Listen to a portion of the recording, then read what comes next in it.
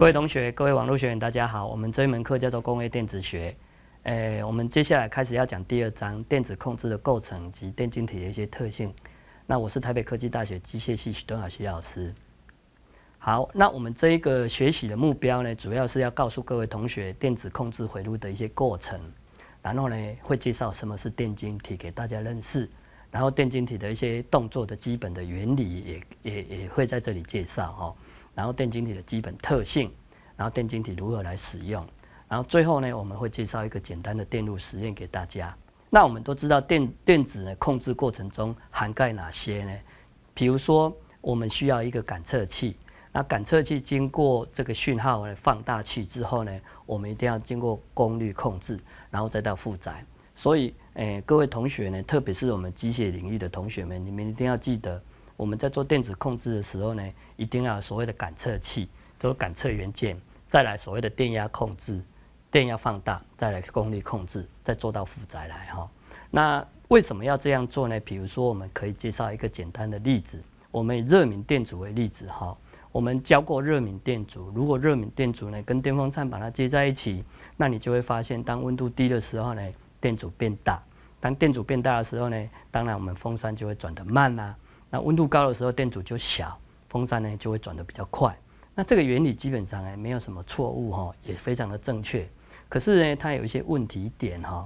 那为什么呢？一般哈，我们要让马达不转动的时候呢，热敏电阻温度，热敏电阻的阻值呢一定要非常的大，电马达呢才会停止。那可是呢，我们一般找不到这种热敏电阻哈。那第二个呢，当电流一流过去的时候呢，热敏电阻因为本身是一个电阻哈。所以呢，它会产生一些热量，所以造成了热敏电阻检测温度的时候会不准确。所以在这里，它会告诉你说，基本上这样的控制当然没有什么问题哈。但是大流大电流流经的时候呢，热敏电阻会产生热，然后也会呢影响整个马达的控制状态哈。那另外一个问题也是我们机械系最常见的问题，就是诶马达的电力控制哈，马达的电力控制，比如说诶，特别是我们在机械领域的同学。常常会遇到说，诶，电阻呢，利用电阻来调马达的转速。其实，在我们整个原理来讲呢，在我们整个原理来讲呢，它是没有没有错误的哈。那电阻值调越大，当然马达转速就越小啦。电阻值调越小，马达转速就越快啊。可是原理是正确哈，因为电阻的大小呢，改变了马达的转速。那另一个呢，为什么这个诶这样控制不好呢？第一个就是它的效能差。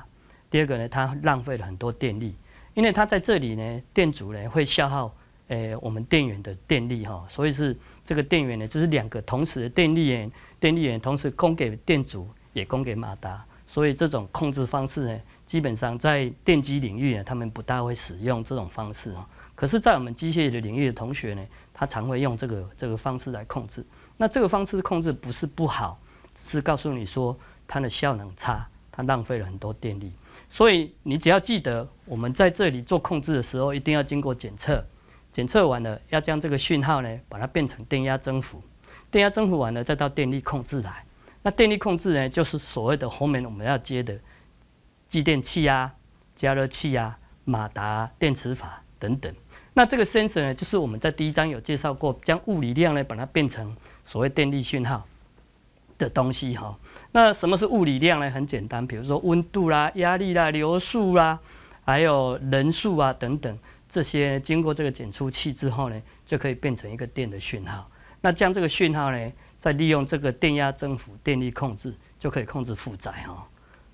那比如说，我们如果真的要用温度来控制我们后面的东西的话，我们很简单就可以这样做哈。将一个小的电源呢，将这个小的电源加上热敏电阻。在经过这个电阻之后呢，将这个讯号呢给放大步，那放大步呢就可以控制我们所要的做法哈。那其实真正的做法正确，刚才我们讲了一个错误的做法，可是在这里我们介绍一个真正的做法，应该是要这样子，就像图上面这样子哈，做一个小电源，然后经过一个热敏电阻，再经过电阻之后呢，我们就可以得到 V 值。那 V 呢将这个讯号呢透过电压增幅之后呢电力控制，我们就可以接到负载了。真正的做法是这样子哈，特别是我们机械系的领域的同学呢，你们一定要记得，我们要将电力呢跟讯号呢，它是不同的东西。我们不可以将电力跟讯号加在一起哈，不可以将电力跟讯号加在一起，这样会造成控制上的一些问题，这样会靠造成控制上一些问题哈。那如何来将这个电压讯号呢，把它变大，或是透过呢这个电压的讯号呢，把它做电力控制呢？其实上我们用的元件呢，不外乎这些哈。第一个就是呃电晶体。那利用电晶体呢，我们可以做电压放大的元件，放大的元件哈，那也可以做功率控制的所谓的诶元件使用哈。然后这个呢，才是我们经过所谓的电力控制或是电压增幅的一个界面。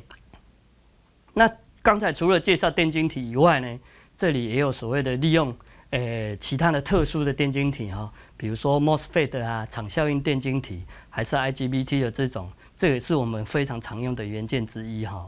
那在这里我简单的做一个小的结论哈，因为我们也教过诶电子控制的基本构成，所以在这里诶各位同学你一定要记得，我们在做控制的时候呢，一定要感测器、电压增幅、电力控制，再到负载，所以将这个把它记下来，你在做控制的时候比较不会错误哈。然后呢，我们也提供了正确的电子的控制的概念给大家。然后也认识了电力源跟讯号源的界面。我们电力源跟讯号源其实只是透过电晶体来做一个界面哈。那如果各位同学有兴趣的话，那请看我们下面一章。我们下面一章会介绍如何利用电晶体来做界面的控制。